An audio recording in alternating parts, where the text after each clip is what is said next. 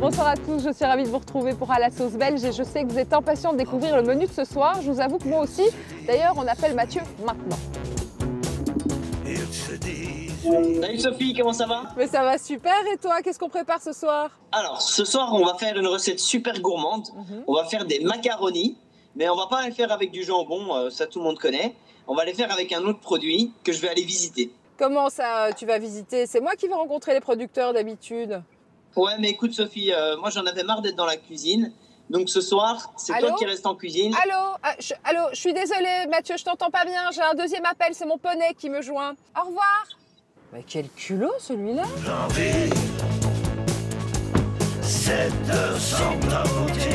Rassurez-vous, Sophie n'a aucun intérêt à quitter le projet. Et on la comprend, car Mathieu sait comment satisfaire ses papilles gustatives avec des recettes inratables. Préparées avec des ingrédients vendus dans tous les supermarchés.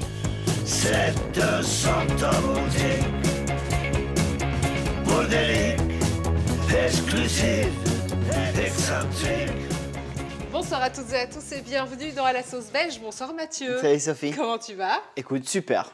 Bah alors j'ai décidé de changer un peu la donne hein, puisque tu prends tes aises. Ça ne sera pas des macaronis mais de la lasagne. Ça va aller? Écoute, il n'y a pas de souci parce que de toute façon, moi aussi j'ai changé d'avis. J'ai pris du jambon d'Ardenne et ils faisaient du saucisson aussi et j'ai pris les deux. Donc finalement ça ne sera pas des macaronis au jambon mais une recette mystère, on la découvre. Allez go en cuisine.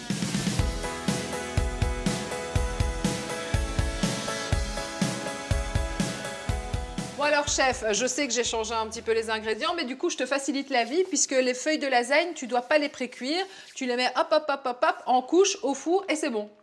Non, Sophie, écoute, la lasagne c'est très bon, on mange en Italie et on va Ouais. laisser aux Italiens. Ici, on est dans à la sauce belge, donc on va garder cette idée de, de macaroni un peu farci. Donc en Mhm. fait, on va faire une duxelle de champignons avec du marcassou et on va venir la rouler dans la lasagne, comme si c'était un cannelloni en fait. Un cannelloni. C'est vrai que ça c'est très belge, donc on s'en sort. Et donc euh, on commence par quoi? Ben, tu vas pouvoir pré-cuire justement euh, les feuilles de lasagne. Et attention, il faut vraiment les cuire juste bien de manière à pouvoir bien les rouler. Ok, et pendant ce temps-là, tu t'occupes des champignons? Moi, je m'occupe de la farce. Allez, c'est parti. Yeah.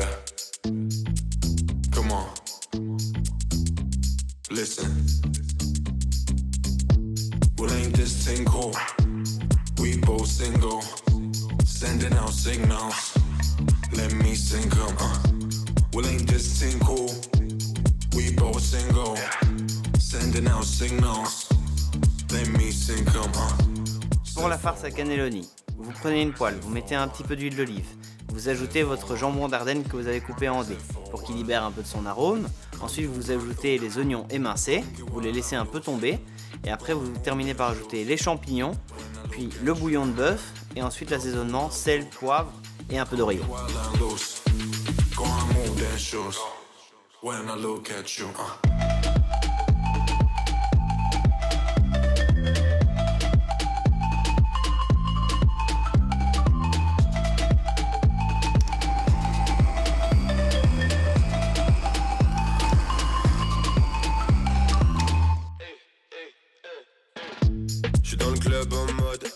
Chef, on a la pâte, Ouais. on a la farce, Ouais. il nous manque la sauce. Alors pour la sauce, Sophie, on va faire quelque chose de bien belge. On va faire une sauce au fromage au bouquet des moines. Et en fait, on va faire une petite sauce fromage et crème. Pas trop de crème pour en fait que quand on la met sur nos cannelloni, on puisse gratiner ça au four. Bien.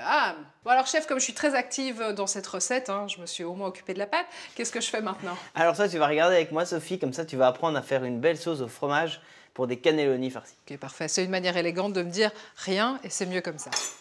Je vous regarde chef.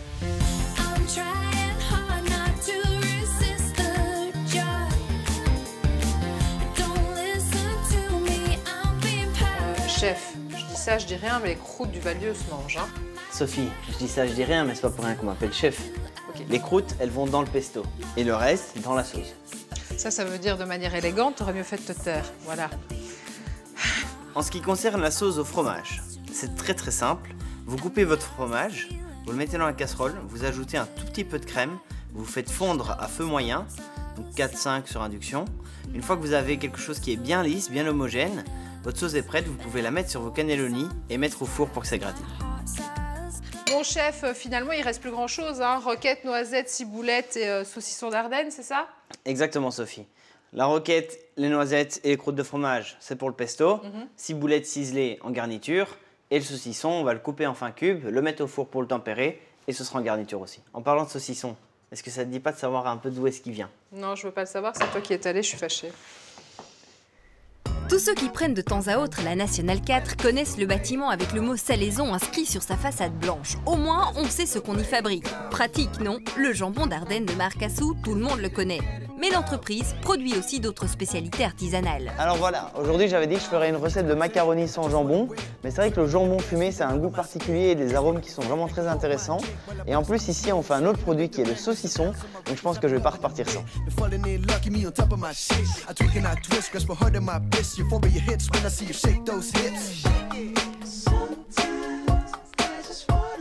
Bonjour Mathieu. Bonjour, vous allez bien? Ça va, ça va. Ben voilà, moi en tout cas je suis venu ici, je suis impatient de voir parce que donc tout le monde connaît le jambon d'Ardenne, IGP. J'ai entendu qu'il avait son petit neveu, euh, le saucisson, euh, qui venait d'avoir l'IGP aussi. Est-ce que tu peux un peu me rappeler euh, qu'est-ce que c'est que l'IGP Oui, donc l'IGP, c'est une indication géographique protégée.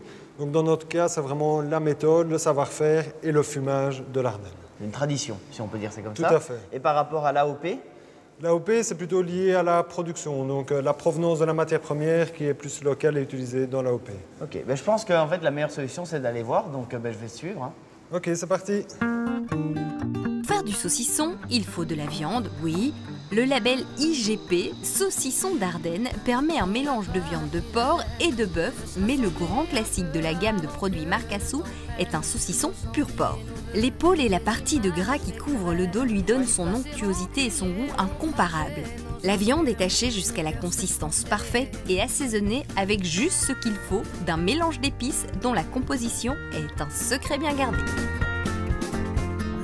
Et enfin, c'est le moment de façonner les saucissons. Bon, la technologie a fait son entrée chez Marcassou, mais en gros, cela se fait de la même manière que chez votre artisan boucher, mais à une grande échelle. Et c'est comme cela qu'on fait à Champlon depuis les années 60, dans le plus grand respect de la tradition ardennaise. Ah donc voilà les fameux saucissons. Par contre je vois qu'il manque un peu encore de bronzage, du coup je suppose qu'on va passer au fumage? Non, non, avant le fumage, on va d'abord faire la fermentation. Donc les produits vont être laissés ici pendant, euh, pendant 3 jours. On va monter la salle à 25 degrés, ils vont rester ici pendant 3 jours. On va avoir une acidification du produit. C'est ça qui va en faire un saucisson, contrairement à une saucisse fraîche. Avec l'acidification, on va avoir une coagulation des protéines, donc on va en faire un saucisson ferme qui va être sûr d'un point de vue euh, sécurité alimentaire. Ensuite, ça va apporter énormément de saveur, de goût au produit. C'est ça qui va vraiment déterminer son caractère. Et du coup après pour le fumage, ça va dans une autre pièce? Non, non, le, le fumage il va se dérouler ici. Donc tous nos produits sont IGP. Pour l'IGP, on va devoir euh, utiliser de- du bois de hêtre, du bois de chêne, des baies de genévrier. Nous, en l'occurrence, on va utiliser du bois de hêtre avec des baies de genévrier. Et alors, on va faire un fumage euh, naturel et on va faire une combustion lente, Ouais. à froid, à basse température. On va souffler cette fumée dans la salle Et ça arrive par là. Et ça va arriver par les buses euh, que voici. Ah oui. Donc c'est vraiment complètement différent en fait de la méthode traditionnelle où on fumait euh, au, au rez-de-chaussée entre guillemets et où on laissait la, la fumée s'élever euh, sur les viandes. Tout à fait, mais nous, ce qu'on veut ici, c'est vraiment donner un goût au produit et pas, pas spécialement le, le fumer intensément avec un goût qui peut être un petit peu trop prononcé. Et du coup je propose que vu qu'on parle de goût, ben, je propose qu'on passe à la dégustation. hein. Oui, oui, oui, patience, patience. Avant la dégustation, les produits qui ont été fumés vont être séchés. Donc, on va les voir là tout de suite dans le séchoir. Bon en tout cas ça commence à devenir vraiment cruel ici, hein, parce que je sens l'odeur, je vois qu'ils ont déjà pris une belle couleur en plus. Et donc, ici, on est au séchage. Donc, les produits vont rester ici pendant deux semaines. C'est ici qu'on va perdre, qu'on va perdre de l'eau. Donc, on va perdre 35% du, du poids du produit en eau. On voit vraiment le grain qui se forme. Et c'est là que le goût va continuer à s'affiner. Donc dans deux semaines on peut le manger. On pourra le manger. Ok ça va. Mais pas besoin de prendre notre mal en patience. Tous les jours, des quantités de saucissons quittent les séchoirs pour être conditionnés et enfin consommés. Voilà Mathieu, notre euh, famille IGP, donc avec le jambon d'Ardenne, le saucisson sans ail et le saucisson à l'ail. Je me permets, hein, ça fait longtemps que j'attends. Vas-y, je t'en prie. Il est vraiment délicieux, hein, on sent vraiment le côté fumé, etc. C'est vraiment top. Et par contre, tu peux me dire un peu, parce que je vois sur l'emballage que je connaissais, il y a un nouveau logo, le cochon bien-être. Oui, donc tout à fait. Le cochon bien-être, c'est une filière qu'on a créée afin de répondre aux demandes des consommateurs, donc avec vraiment un ancrage local. On avait déjà une production locale, mais ici on voulait avoir en plus le porc de la région. Un prix juste pour euh, l'agriculteur et, alors euh, aussi insister sur le bien-être animal et euh, pour pouvoir donner quelque chose de Et mieux. Par rapport, tu vois, au, au débit quand même que vous produisez, voilà, comment est-ce que tu as réussi à mettre ça en place? Ben, tout à fait, ça, ça a été la grande complexité. Ça nous a pris cinq ans à mettre ça en place. On a enfin démarré. On a dû ré- réunir tous les acteurs. Et euh, là, on est fiers et heureux que, que ça démarre. que enfin. ça se fasse. Mais en tout cas, voilà, c'est vraiment top. Je pense que le jambon, c'est quelque chose qu'on utilise assez souvent en cuisine. Euh, mais c'est vrai que ce saucisson, je trouve qu'il a toute sa place et son intérêt dans un plat. Il n'est pas trop gras, pas trop salé, pas trop fumé. Et donc, on va essayer de faire un plat avec les deux ensemble. Super. Pour le pesto, ça ne doit pas toujours être un pesto au basilic. On peut faire un pesto à toutes les herbes qui existent, que ce soit aux épinards, à la nette, et même ici en l'occurrence à la roquette. Donc vous mettez la roquette, les noisettes, les croûtes de fromage. Vous auriez pu mettre aussi des croûtes de fromage de parmesan ou de gruyère. On mixe le tout pour faire une petite pâte et ensuite on monte ça avec de l'huile d'olive.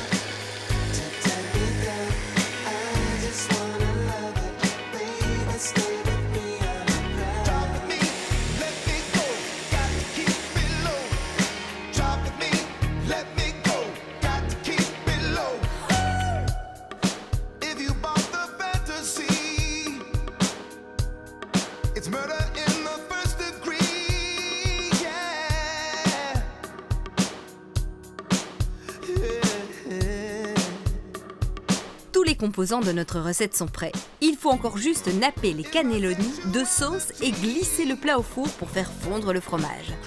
Vous pensez que notre chef a oublié le saucisson? Non, non, non, celui-ci sera enfourné tout à l'heure, juste pour le réchauffer un peu tout en conservant son goût naturel et authentique.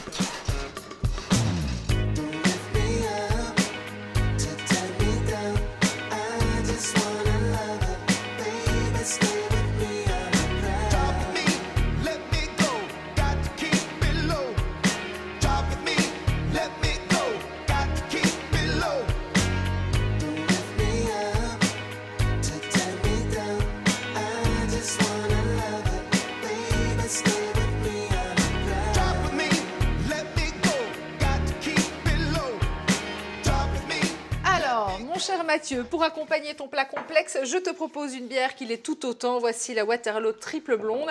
Euh, une bière complexe parce qu'on va retrouver des saveurs de houblon, mais également de levure, de fruits. Mais le tout est très bien équilibré. Donc, dis-moi ce que tu en penses. Je pense que ça va se marier encore une fois merveilleusement bien avec ton plat. Ben, je pense qu'en effet, tu as fait le bon choix, Sophie. Je pense que ça devrait être parfait. En tout cas, un tout grand merci encore une fois, Mathieu. Ben écoute, on a fait un super binôme. hein. On se retrouve la semaine prochaine. Exactement. Bon, on se retrouve la semaine prochaine. J'espère que vous serez présents également. La soirée Top Chef continue, bien entendu. Et euh, ben, prenez bien soin de vous. Passez une excellente soirée. Salut tout le monde.